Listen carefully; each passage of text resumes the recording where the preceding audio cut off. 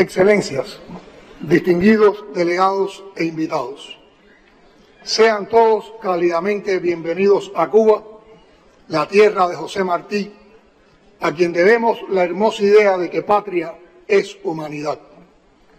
Gracias por aceptar la invitación que hoy nos une en defensa del futuro de las grandes mayorías que conforman el grueso de ese grande y unificador concepto que es humanidad.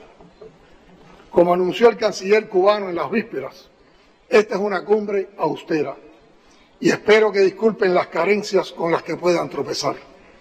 Cuba está literalmente cercada por un bloqueo de seis décadas y por todas las dificultades que se derivan de ese cerco ahora reforzado. Enfrentamos también, por supuesto, los colosales desafíos que son consecuencias del injusto orden internacional vigente pero no somos los únicos. Hace casi 60 años fue la comunión de dificultades y la esperanza de que juntos podríamos enfrentarlos y vencerlos lo que nos hizo nacer como grupo. Somos los 77 y China, y somos más. Como apreciarán en estos días, carecemos de muchas cosas, pero nos sobran sentimientos de amistad, de solidaridad y de hermandad. Y nos sobra voluntad para hacerlos a ustedes sentir en familia. Todos están en casa.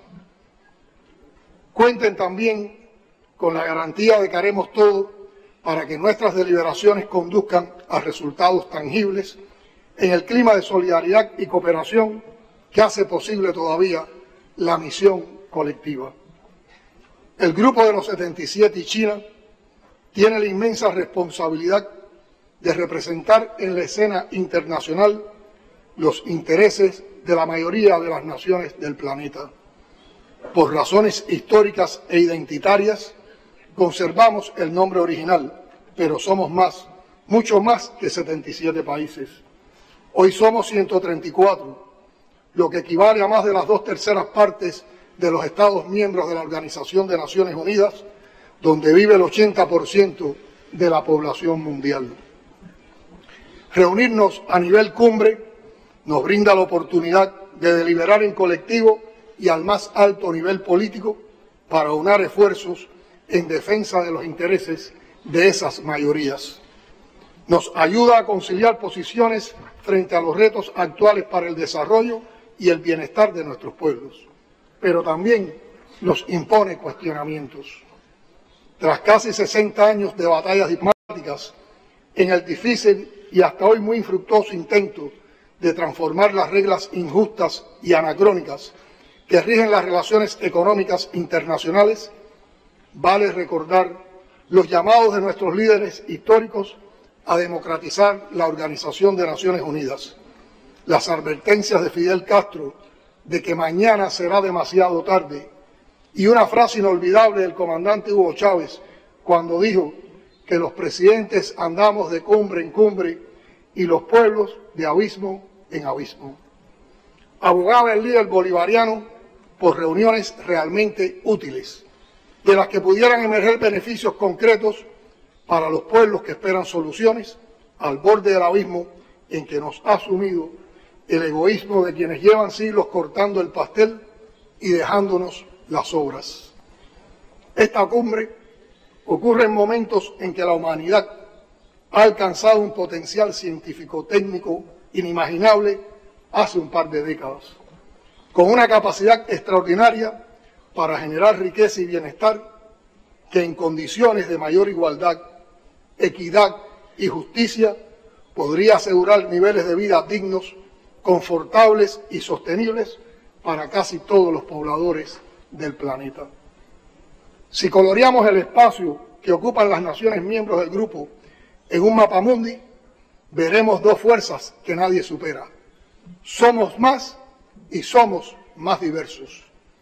El sur también existe, dicen los versos del poeta uruguayo Mario Benedetti.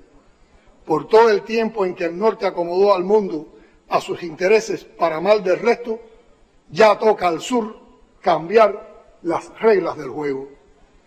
Es la hora de los hornos, en la que no se ha de ver más que la luz, diría José Martí, con el derecho que nos asiste por ser la gran mayoría de los miembros del Grupo de los 77, las víctimas principales de la actual crisis multidimensional que sufre el mundo, de los desajustes cíclicos del comercio y las finanzas internacionales, del abusivo intercambio desigual, de la brecha científica, tecnológica y del conocimiento, de los efectos del cambio climático y del peligro de destrucción progresiva y el agotamiento de los recursos naturales de los que depende la vida del planeta, exigimos ya la democratización pendiente del sistema de relaciones internacionales. Son los pueblos del sur los que más padecen pobreza, hambre, miseria, muertes por enfermedades curables, analfabetismo, desplazamientos humanos y otras consecuencias del subdesarrollo. Muchas de nuestras naciones son llamadas pobres cuando en realidad deberían considerarse naciones empobrecidas. Y es preciso revertir esa condición en que nos sumieron siglos de dependencia colonial y neocolonial, porque no es justo y porque no soporta ya el sur el peso muerto de todas las desgracias. Los que levantaron ciudades, ciudades deslumbrantes con los recursos, el sudor y la sangre de las naciones del sur, sufren ya y sufrirán más en lo adelante las consecuencias de los desequilibrios económicos y sociales que propició el saqueo, porque viajamos en la misma nave, aunque algunos sean pasajeros VIP y otros sus servidores. El único camino válido para que esta nave mundo no termine como el Titanic es la cooperación, la solidaridad, la filosofía africana del Ubuntu que entienda el progreso humano sin exclusiones, donde el dolor y la esperanza de cada uno sea el dolor y la esperanza de todos. Excelencias, hemos propuesto como tema de esta cumbre el papel de la ciencia, la tecnología y la innovación como componentes esenciales del debate político asociado al desarrollo. Lo hacemos convencidos de que los logros y avances en ese campo son los que dirán a la postre si es posible y cuándo alcanzar los objetivos de desarrollo sostenibles relacionados con el fin de la pobreza, el hambre cero en el mundo, la salud y el bienestar, la educación de calidad, la igualdad de género, el agua limpia y el saneamiento, la solución a los problemas de la energía, el trabajo, el crecimiento económico, la industrialización y la justicia social. Tengo la más absoluta convicción de que tampoco será posible avanzar hacia un modo de vida sostenible en armonía con las condiciones naturales que garantizan la vida en el planeta sin esas premisas. Y es obvio que el proceso transformador hacia el logro de estos objetivos contempla de una forma u otra el papel del conocimiento como generador de ciencia, tecnología e innovación. Es preciso derribar ya las barreras internacionales que han obstaculizado el acceso al conocimiento por los países en desarrollo y el aprovechamiento por parte de ellos de factores tan determinantes para el avance económico y social. Hablo de barreras íntimamente asociadas a un orden económico internacional injusto e insostenible, que perpetúa condiciones de privilegio para los países desarrollados y relega condiciones de subdesarrollo a una parte mayoritaria de la humanidad. Sin atender esos temas, no se podrá alcanzar de ningún modo el desarrollo sostenible al que todos tenemos derecho por más metas que se pongan. Ni se podrá estrechar la inmensa brecha que separa las condiciones de vida privilegiadas de un segmento reducido de la población del planeta y el subdesarrollo que se profundiza entre las grandes mayorías. Tampoco se podrá confiar en que alcanzaremos un mundo de paz en el que desaparezcan las guerras y los conflictos armados de todo tipo. La ciencia, la tecnología y la innovación desempeñan un papel trascendental en la promoción de la productividad, la eficiencia, la creación de valor agregado, la humanización de las condiciones de trabajo, el impulso del bienestar y la garantía del desarrollo humano. Estamos ante la mayor revolución científico-técnica que ha conocido la humanidad. La ciencia ha modificado el curso mismo de la vida. El ser humano ha sido capaz de conocer el espacio sideral e ingeniar sofisticadas máquinas que automatizan hasta los procesos más elementales asociados a su existencia. Internet ha borrado los límites espaciales y temporales. El desarrollo tecnológico ha permitido conectar al mundo y eliminar miles de kilómetros de distancia a la velocidad de un clic. Ha multiplicado las capacidades de enseñanza y aprendizaje, acelerado los procesos investigativos y dotados al género humano de capacidades insospechadas para mejorar sus condiciones de vida. Pero estas posibilidades no están al alcance de todos. Al respecto, la ONU ya ha resaltado que la creación y difusión de las tecnologías de producción digital de avanzada, PDA, sigue concentrada a nivel mundial con un desarrollo muy débil en la mayoría de las economías del sur. Solo 10 economías punteras en tecnologías de PDA son responsables del 90% de todas las patentes mundiales y del 70% del total de exportaciones directamente relacionadas con las mismas.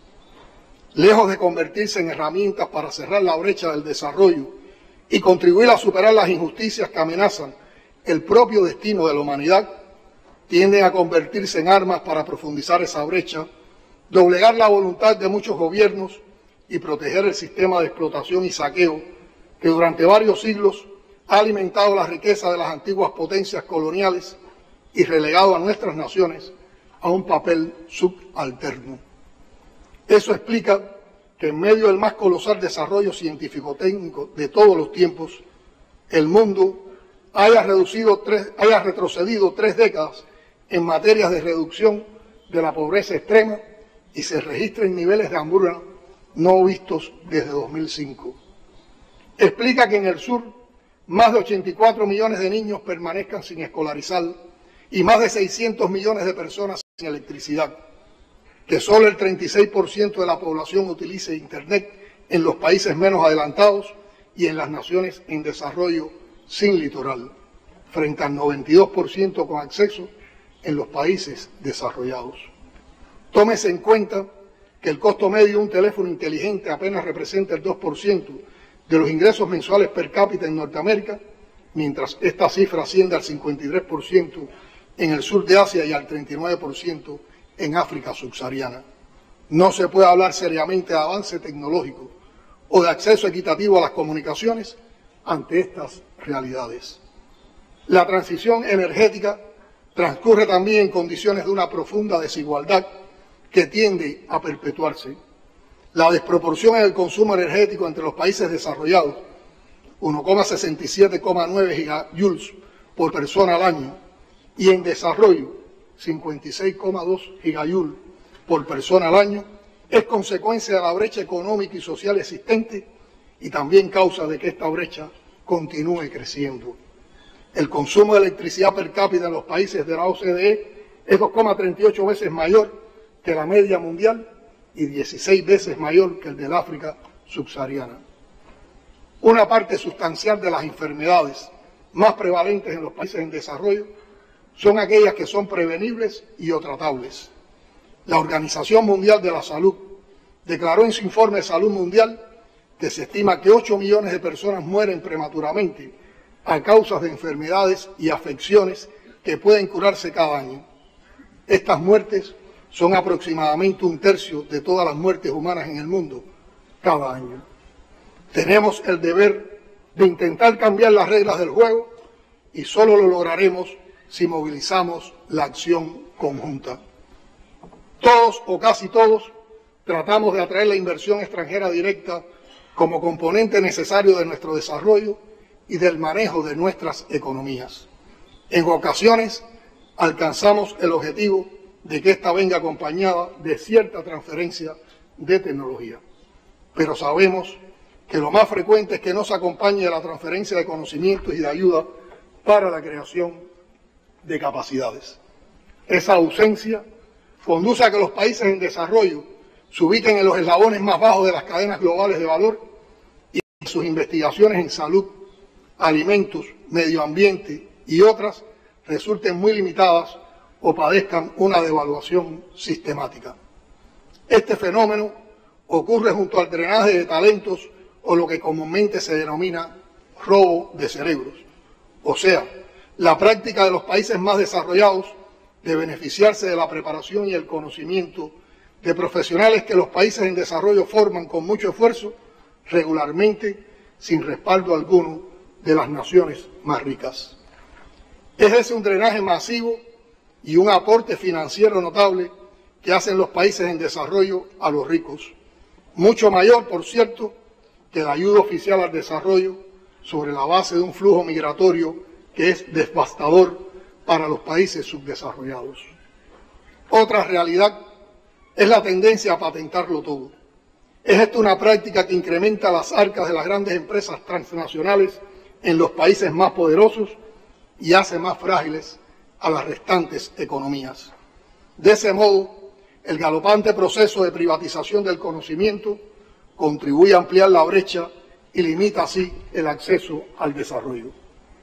Se presiona a los países en desarrollo para que introduzcan leyes de protección de los derechos de propiedad intelectual y se olvida con todo propósito que muchos países industrializados se desarrollaron precisamente pirateando productos y tecnología fuera de sus fronteras geográficas, especialmente en los que hoy son países en desarrollo.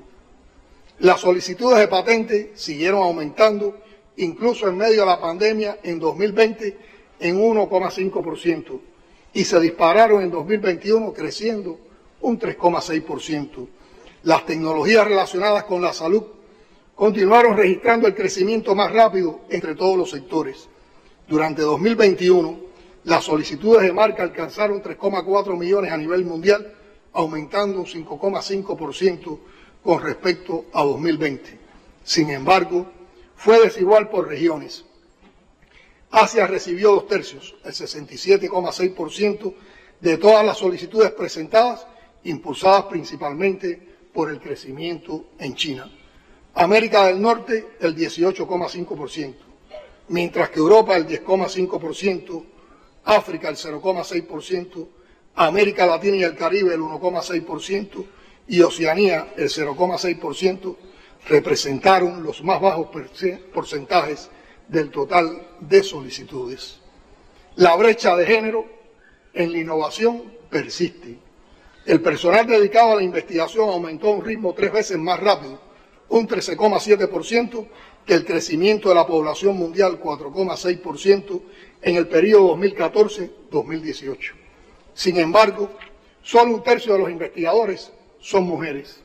Según la Organización Mundial de la Propiedad Intelectual, los hombres siguen representando una gran mayoría de las personas asociadas a las invenciones patentadas en el mundo. Solo el 17% de las personas designadas como inventoras en las solicitudes internacionales de patentes eran mujeres en 2021. La privatización del conocimiento pone límites a la circulación y recombinación del mismo. Plantea limitaciones al progreso y las soluciones científicas de los problemas constituye una barrera significativa para el desarrollo y el papel que en él deben desempeñar la ciencia, la tecnología y la innovación. Agrava las condiciones socioeconómicas en los países en desarrollo.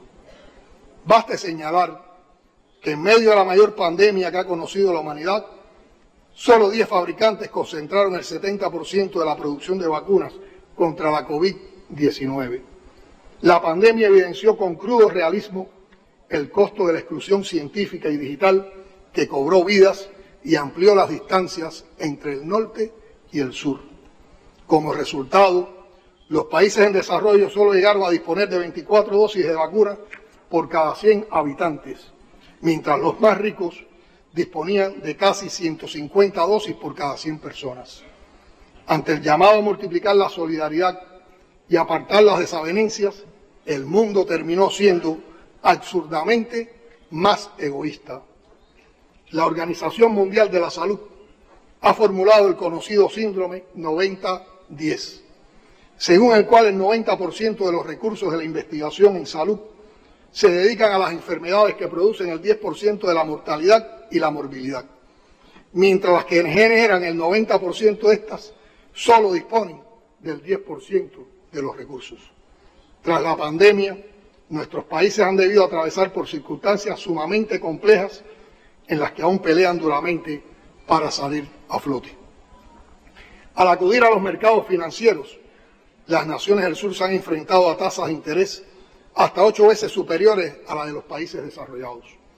Alrededor de una quinta parte de las economías en desarrollo liquidaron más del 15% de sus reservas internacionales de divisa para amortiguar la presión sobre las monedas nacionales. En 2022, 25 naciones en desarrollo tuvieron que dedicar más de una quinta parte de sus ingresos totales al servicio de la deuda externa pública, lo que equivale a una nueva forma de explotación. El gasto mundial en investigación y desarrollo entre 2014 y 2018 aumentó un 19,2%, superando el ritmo de crecimiento de la economía mundial del 14,6%. Sin embargo, continúa altamente concentrado, pues el 93% lo aportan los integrantes del G20. Los recursos necesarios para la solución de fondos a estos problemas existen. Solo en 2022 el gasto militar mundial alcanzó la cifra récord de 2,24 billones, o sea, millones de millones de dólares.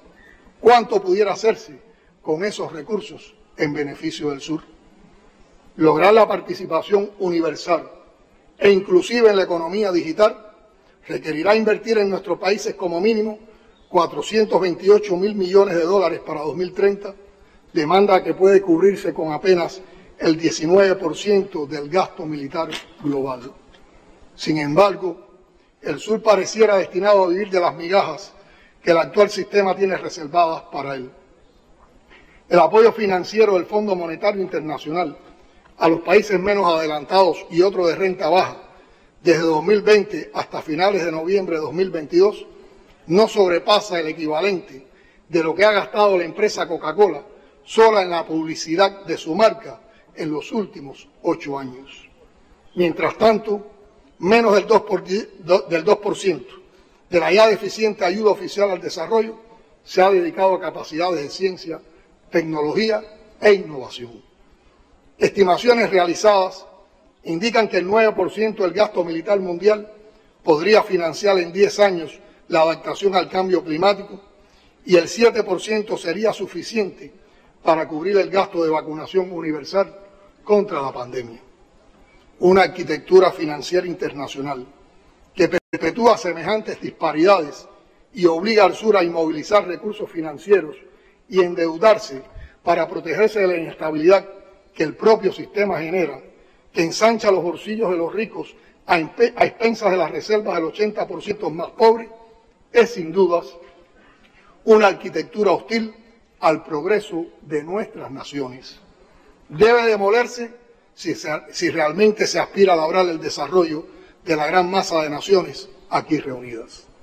Excelencias, debe ser tarea prioritaria derribar de una vez los paradigmas de investigación que se limitan a los entornos culturales y las perspectivas del norte y que privan a la comunidad científica internacional de un capital intelectual considerable.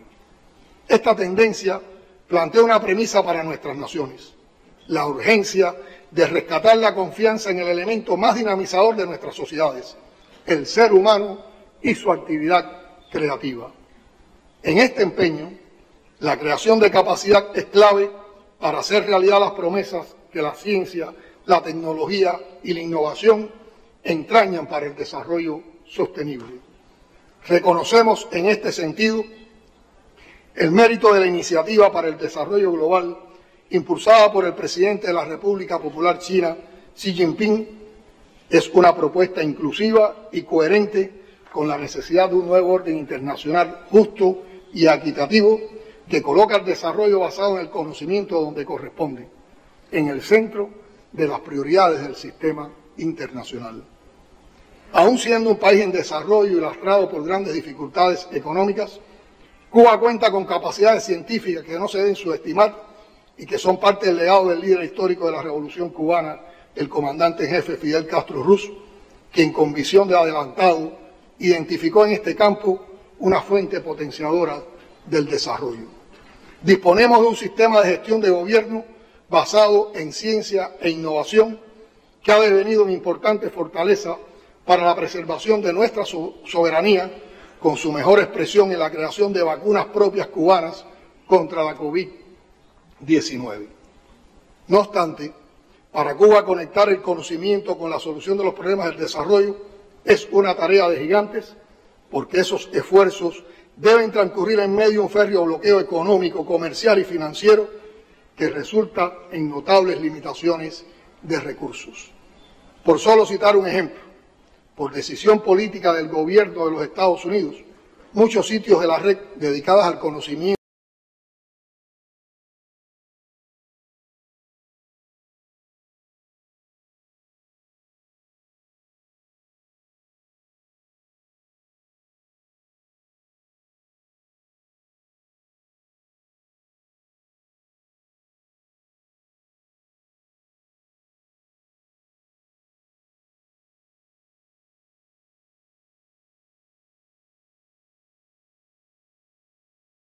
resultados indiscutibles en la ciencia y la innovación.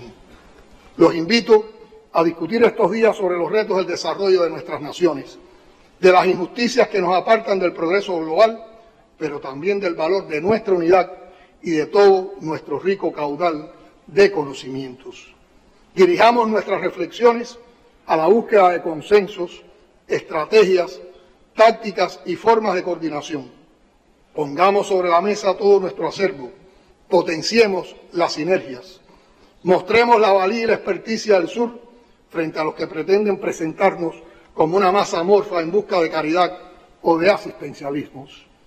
Recordemos que muchas de las singulares naciones que representa el Grupo 77 y China escribieron impresionantes páginas de creatividad y heroísmo en la historia de la humanidad antes de que la colonización y el saqueo empobrecieran los destinos de una parte de ellos. Recuperemos ese espíritu de lucha, el conocimiento tradicional, el pensamiento creativo y la sapiencia colectiva. Luchemos por nuestro derecho al desarrollo, que es también el derecho a existir como especie. Solo así estaremos en condiciones de concurrir a la revolución científico-técnica en pie de igualdad. Solo así seremos capaces de ocupar el lugar que nos pertenece en este mundo, donde nos pretenden relegar a la condición de mansos aportadores de riquezas para minorías.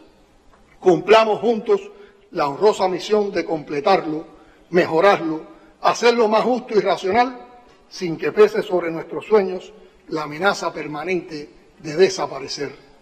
Excelencias, hace 23 años, en una reunión como esta, el líder histórico de la Revolución cubana, Fidel Castro, afirmó, y cito, para el grupo de los 77, la hora actual no puede ser de ruego a los países desarrollados, ni de sumisión, derrotismo o divisiones internas, sino de rescate de nuestro espíritu de lucha, de la unidad y cohesión en torno a nuestras demandas. Nos prometieron hace 50 años que un día no habría abismo entre países desarrollados y subdesarrollados. Nos prometieron pan y justicia y hoy hay cada vez menos pan y menos justicia. Fin de la cita. La vigencia de esas palabras pudieran interpretarse como una derrota de lo que este grupo pretendía y no ha logrado resolver.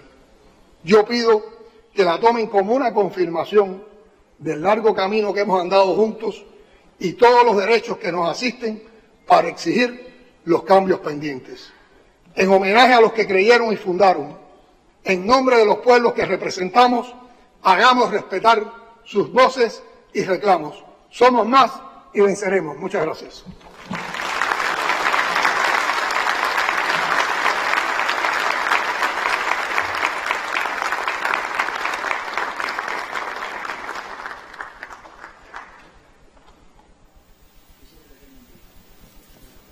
de conceder la palabra al excelentísimo señor Antonio Guterres, secretario general de la Organización de Naciones Unidas.